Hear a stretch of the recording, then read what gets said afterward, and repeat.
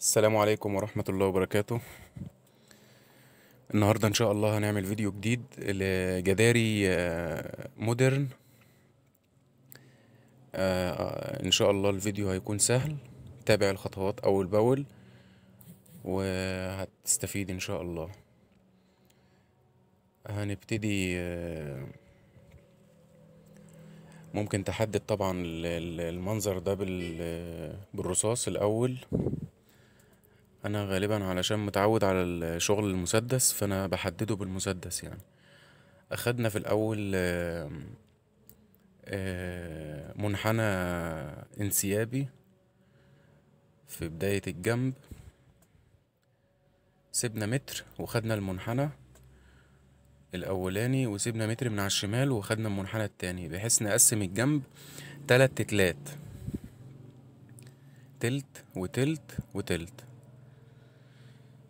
آه بعد كده هناخد ال- ال- التلت اللي في النص بالاسطمبة دي أو باسطمبة ال- النسيج أو باسطمبة آه، الحجر ال 3D اللي إحنا عملناه قبل كده أو بالاسطمبة ال modern اللي هي ال- الأربع أضلاع أو آه، نعمله capitonné مثلا تنجيد أي نوع من أنواع الاسطمبات إن شاء الله يمشي معاك ويطلع نتيجة كويسة. آه، الاسطمبة دي بسيطة وسهلة. هتلاقي إن شاء الله هحاول إن أنا أكتب لكم المقاسات بتاعتها في الشرح تحت الفيديو علشان اللي حابب يعملها معمولة بقطعة كرتون وبنفس الحجم اللي قدامكم ده وبنستخدمها بنفس الشكل ده. بنرش طبعا آه، عملنا لون بني يناسب أرضية البيج اللي إحنا شغالين عليها ويناسب ألوان المكان اللي هو الجبس بيج وكده بحيث إن إحنا ننسق الألوان يعني. آه، بنرش طبعا في في الاتجاهات زي ما انت شايف كده بنفس الطريقة كده بس بنضغط على قبض المسدس ضغطة خفيفة بحيث إن هو ما يرميش لون كتير يعني. يا إما نقفل البوهية بتاعة خروج ال ال البوهية من ال- الفونيا بتاعة المسدس بالشكل ده. فبنرش كده هي بتكمل بعضها. فطبعا حاول تخلي مقاساتها مظبوطة علشان تطلع معاك الشغل ما يكونش فيه انحراف آه، أو ما تطلعش في الآخر آه، مرحلة شمال يمين أكبر أصغر ما تتناسقش مع بعضها يعني. تمام؟ بنفس الشكل ده كده.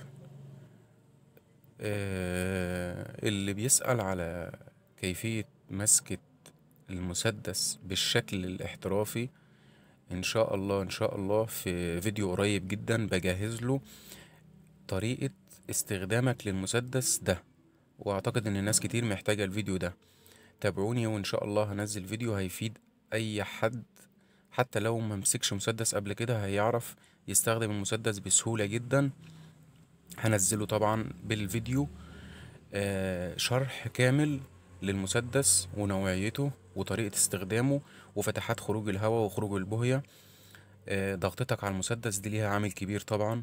كل ده إن شاء الله هنتكلم فيه في فيديو قادم إن شاء الله. بعد ما خلصنا الاسطمبة بالشكل ده توزيعتها في التلت اللي في النص بنبتدي نرش إيه؟ لو حابب يعني إن إحنا بنغبر تغبير خفيف على ال- الاسطمبة بحيث نغمق شوية اللون ونديله تجسيم أكتر بالشكل ده. بنرش في نفس الأماكن اللي إحنا رشينا فيها بس بدون اسطمبة يعني. تغبيرة خفيفة كده ضغطة خفيفة بتطلع معاك الشكل ده. تمام إن شاء الله. آه، إحنا كده خلصنا ال ال الأسطمبة.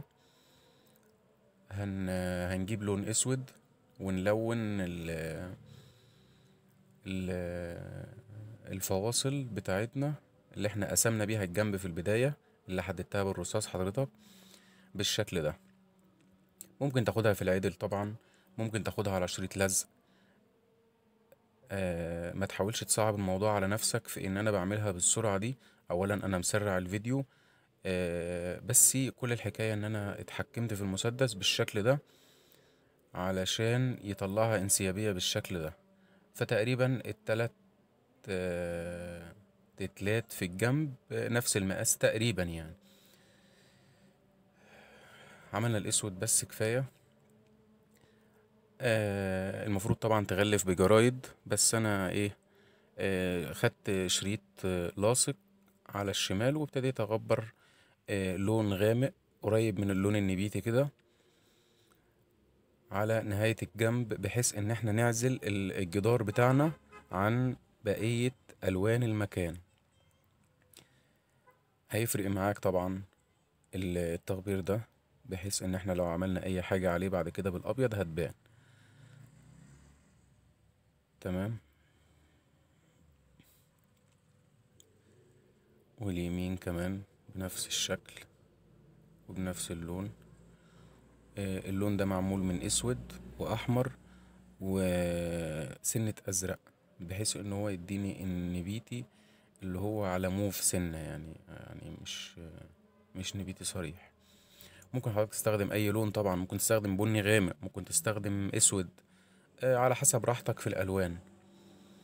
المهم إن أنت بتغبر على مفيش للداخل. آه، جبنا لون أصفر أو برتقاني ممكن يمشي عادي. آه، نكمل بيه تغبير برضو على مفيش آه، أهم حاجة ال background بتاعت الرسمة اللي أنت بتعملها اللي هي الخلفية. بالشكل ده.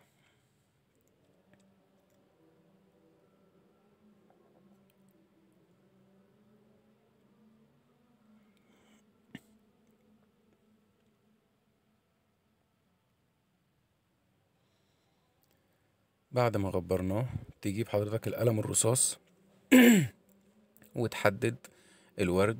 آه، بص في الصورة عادي ثبت الصورة وحدد الورد في أماكن عشوائية بالشكل ده. ورود عادية جدا زي ما انت شايف. أنا بحددها بالمسدس طبعا. حضرتك ممكن تحددها بالمسدس وممكن تحددها طبعا بالقلم الرصاص لأن ده كله هنشتغل عليه تاني لسه. قبل ما ما تدهن ال- لون الورد بعد تحديد الرصاص هتغبر في في- بالأسود اللي هو الظل بتاع الوردة من تحت بس بالشكل ده قبل الدهان.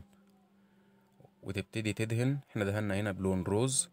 حضرتك ممكن تدهنه أبيض ممكن تدهنه أي لون تاني المهم إن لون فينش الوردة اللي هترشه يكون أغمق من لون الأرضية اللي حضرتك شغال بيها. إحنا قلنا كده في الفيديو بتاع امبارح. بالشكل ده. دي فرشة عادية. أصبح ال- التغبير باين أهو اللي إحنا غبرناه اللون الأسود. باين في اتجاه واحد اللي هو تحت أسفل الورد ده اللي هو الخيال يعني.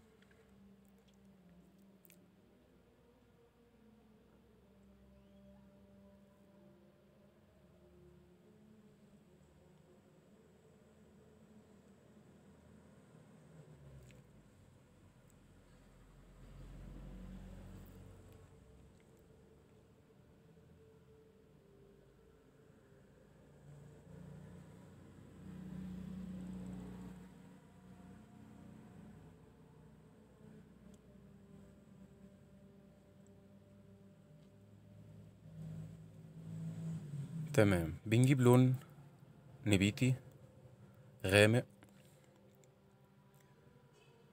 ونبتدي نرش بيه. نحدد معالم الوردة بالشكل ده. حضرتك بتقسم ال- الورق بتاع الوردة في الأول بالشكل ده. ممكن تقسمه برضو بالرصاص علشان تغبر عليه في اتجاه واحد. يبقى نص فاتح ونص غامق. في الورقة نفسها بتاعت الورود. التحديد اهي. أعتقد إنها واضحة.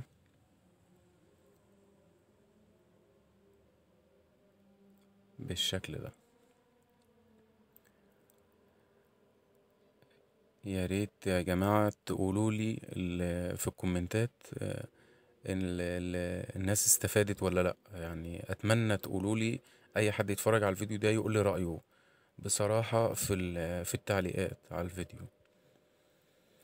علشان ده هيفرق معايا وطبعا هيخليني إن أنا أستمر في نشر فيديوهات بالشرح بنفس الطريقة كده. ده لو حضرتك حابب يعني. فياريت تسيبلي comment بخصوص الموضوع ده.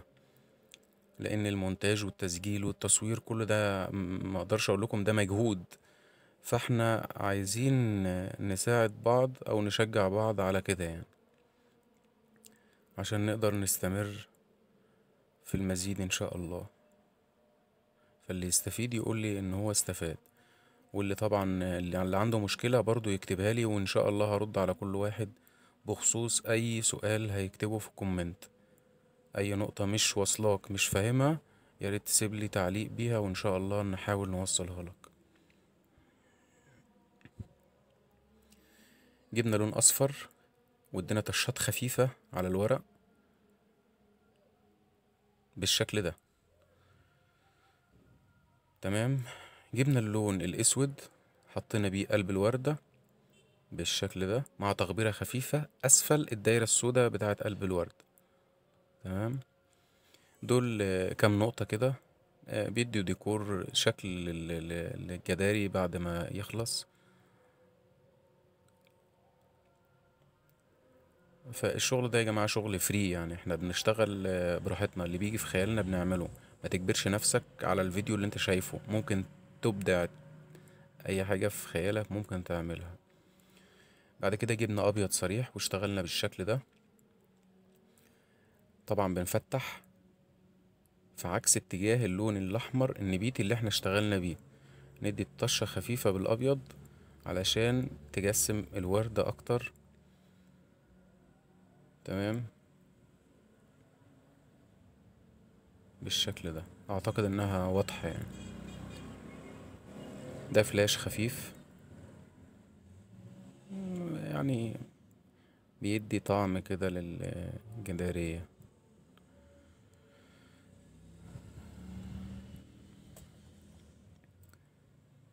مهمة جدا تشريحة الأبيض اللي في الورق دي. مع كام وردة خفيفة كده بالأبيض نفتح الأرضية.